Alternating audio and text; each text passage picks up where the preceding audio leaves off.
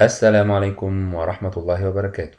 معكم مستر سيد سمير من قناة Easy Grammar. هنتكلم النهاردة عن سلسلة جديدة اسمها In 5 Minutes.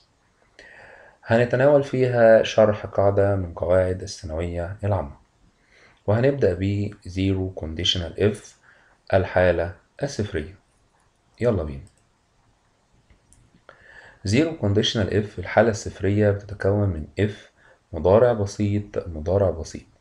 طبعا زي ما إحنا عارفين المضارع البسيط verb plus s أو es أو ies ده طبعا مع المفرد أو فعل في المصدر مع الضمائر الجمع أو مع الاسم الجمع. if أو when ممكن أحط بدل if كمان when. if مضارع بسيط مضارع بسيط. ولكن when عادة ما تستخدم مع العادات. زي ما هنشوف. الاستخدام الأول للحالة الصفرية بتستخدم للتعبير عن حقائق علمية عامة. If you heat water it boils. لو سخنا المية هتغلي. If we mix white and red we get pink. لو إحنا خلطنا اللون الأبيض والأحمر هنحصل على اللون الوردي. تستخدم للتعبير عن عادات ثابتة. If أو when I read in bed I fall asleep. يعني عندما أقرأ في السرير على طول بنروح في النوم. أوكي يبقى عندي استخدامين. الحالة الصفرية تستخدم للتعبير عن حقائق علمية عامة وتستخدم للتعبير عن عادات ثابتة. ولكن لاحظ إن إذا كانت الحقيقة حددناها بموقف معين أو بوقت معين فلا نستخدم الحالة الصفرية ولكن نستخدم الحالة الأولى. إزاي يعني حددناها بموقف معين أو وقت معين؟ بيقول استخدام صفة إشارة. مثل this أو that أو these أو those قبل الفاعل أو المفعول. أو استخدام صفة ملكية مثل its وهير وhis وtheir وour and so on. أو apostrophe s الملكية. تعالوا كده نشوف الفرق بين المثالين الموجودين. If you don't water plants they die. لو إحنا ما سقيناش النباتات هتموت. ولكن تعالى نشوف إيه طبعا هنا إف مضارع بسيط مضارع بسيط. ولكن تعالى نشوف لأن أنا بتكلم هنا عن حقيقة عامة. لكن تعالى نشوف كده في المثال التاني.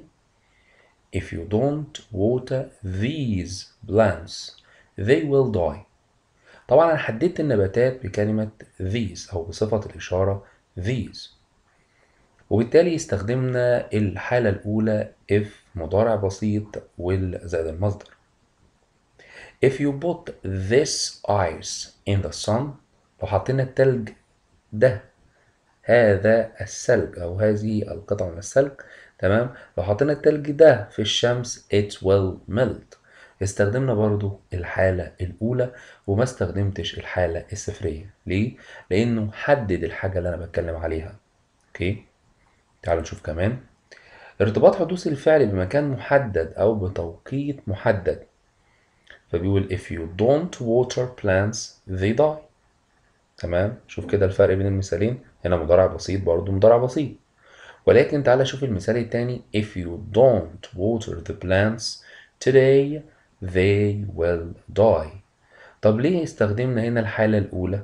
لأنه حدد بموقف بوقت معين اللي هو كلمة today أوكي فعشان كده استخدمنا مضارع بسيط والسائد المصدر.